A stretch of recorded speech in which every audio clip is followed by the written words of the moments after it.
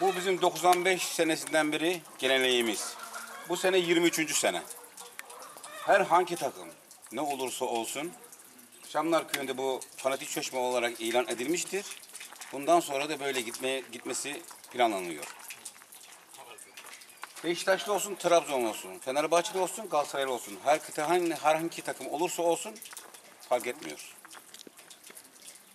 Bursa Spor'a da bayandı ama hiç Şamlar'da Bursalı olmadığı için yine de bu Bursa Spor'a bayanmıştır. Her sene herhangi bir taraftar grubu ne olursa olsun çeşmeğimizi tamir etme, ediyoruz. Muslukları olsun. Fark etmiyor. Galatasaraylı Fenerbahçe'ye, Fenerbahçeli Galatasaray'a, Beşiktaşlı'ya yardımcı oluyor. Üç gün içinde süre, süreli yani üç gün içinde bir saat çalışıyoruz, akşam çalışıyoruz, sabah çalışıyoruz. Çalışmaya giden arkadaşlarımız var. Onlar yardımcı oluyor. Üç gün, beş gün içinde bu çeşme fanatik çeşmesi olarak dayanıyor. Hele bayramlarda İstanbul'dan gelip bayramda e, tatil yapmak isteyen çocuklar çok görüyorlar, suyu içiyorlar, fotoğrafını çekiyorlar, selfie yapıyorlar. Herkesin dikkatini çekiyor yani. Gör burada, burada suyu.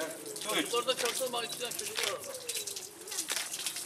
Ben yaklaşmıyorum. Geçen sene Trabzon şampiyonu olacak dedim. Olamadı. Onun için